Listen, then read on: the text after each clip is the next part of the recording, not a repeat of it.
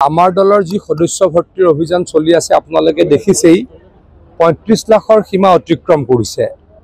আৰু আমি আশা ৰাখিছোঁ যে প্ৰত্যেকটো সমষ্টিত অহা এক সপ্তাহৰ ভিতৰত অতি কমেও চল্লিছ হাজাৰকৈ ব্যক্তিয়ে বিজেপি দলৰ সদস্য পদ গ্ৰহণ কৰিব।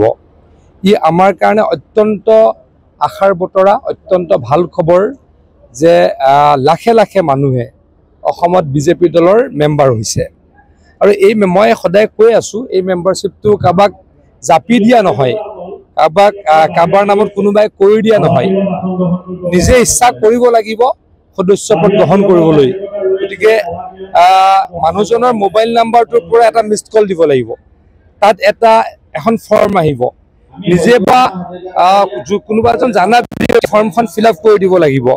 গতিকে এটা প্ৰক্ৰিয়াৰ মাজেৰে হৈছে আৰু মই জানিবলৈ পাই খুব ভাৰতবৰ্ষৰ অন্য ৰাজ্যৰ ভিতৰত অসম প্ৰায় এক নম্বৰত আছে। গতিকে আমাৰ ফালে আশাৰ আমাৰ আশাৰ বতৰা আৰু এই কথাই প্ৰমাণ কৰে বাৰে বাৰে কৈছোঁ নৰেন্দ্ৰ মোদী ডাঙৰীয়া আৰু হিমন্ত বিশ্ব শৰ্মা ডাঙৰীয়াৰ নেতৃত্বৰ চৰকাৰখনে ভাল কাম কৰিছে সেইকাৰণে ৰাইজে বিজেপি দলৰ সদস্য পদ গ্ৰহণ চাওক অলপ ইয়াত শ্ল' হৈছে কাৰণে কেইটামানত চবতে হোৱা নাই কেইটামানত অলপ শ্ল' হৈছে কিন্তু এতিয়া পিক আপ লৈছে। বাকী কেইটাতো হ'ব বুলি আশা ৰাখিছোঁ। সৌৰভ গগৈ কিবা ফেক্টৰ হৈছে নেকি যে মই নাজানো কিন্তু এটা আকৌ কৈছোঁ মেম্বাৰশ্বিপ য'ত য'ত কমি আছিল পিক আপ লৈছে।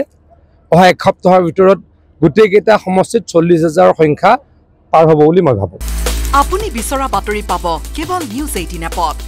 নিউজ এইটিন এপ ডাউনলোড কৰিবলৈ স্কেন কৰক এই Q R code Google Play ষ্টৰতো পাব এই নিউজ এইটিন এপ